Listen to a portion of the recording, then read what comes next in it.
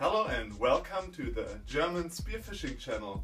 Today I want to show you how to build a speargun shock absorber bungee just out of normal materials that everyone has. Like this one. Okay, I found this training device on the garden sale and bought it for one euro. So this is the normal rubber which you use for a shock absorber. It's around six, seven millimeters and there's a diameter of three to four millimeters.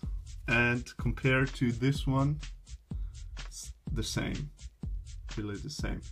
So ask your mother, ask your girlfriend if they're still using it. Otherwise, it's perfect to build your own shock absorber. And this is what you need else. Normal swivel, you can find it in every spearfishing shop or um, fishing shop. Some Dyneema, it's two millimeters. A bigger string that you can retract like this. And a normal thinner string. Okay, let's start off.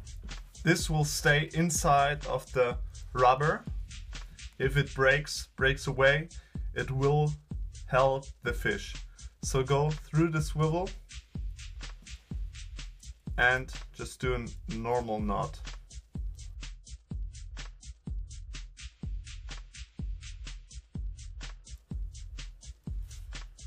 Okay, one. Okay, now you put the rubber over the retracting string. See again. Pull it over.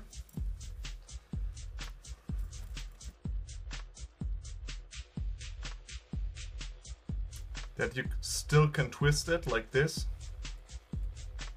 Okay, now we do our first constrictor knot. Take some string, Okay, this is how to do it. I will upload now a picture how to do it. Okay, like in the picture, you do a cross like this. Hold the cross under this one. Okay, still the cross over this one and under the cross.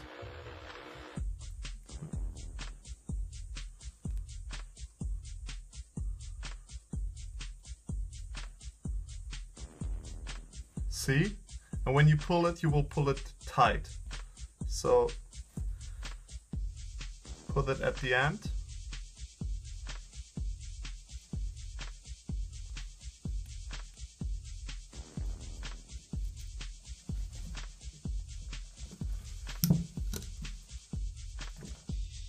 that held perfectly. Now we come to the second side. So how to do this one? You take the Dyneema, like every time burn off the ends. You need around 20 centimeters. So you cut it in half, like this, not cut, but, and then do a normal, normal knot. And before you pull it tight, you take the take the band, the retracting one, put it through the loop, okay, and do a normal knot over the big loop, like like this. And pull that one tight first. Okay. and now you can pull it tight together.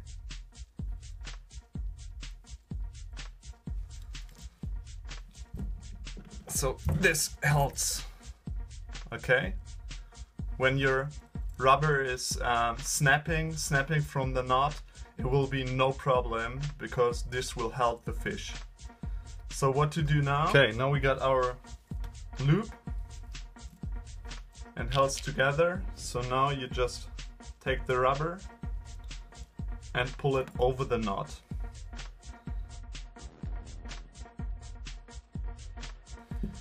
And now we just need a second constrictor knot.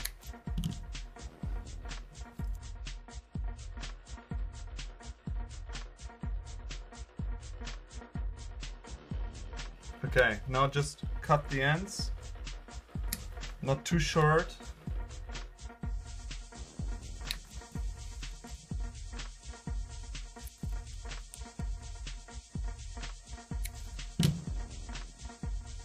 And burn them, burn them down.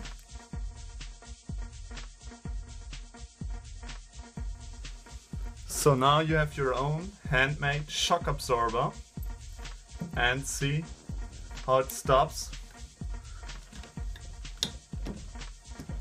No fish will snap away from you if the rubber breaks. So if you like this video, just give me a thumbs up, follow up my channel like every time. Thank you and goodbye. If you got any further advices, feel free to give me. I'm happy to learn everything. Bye bye guys.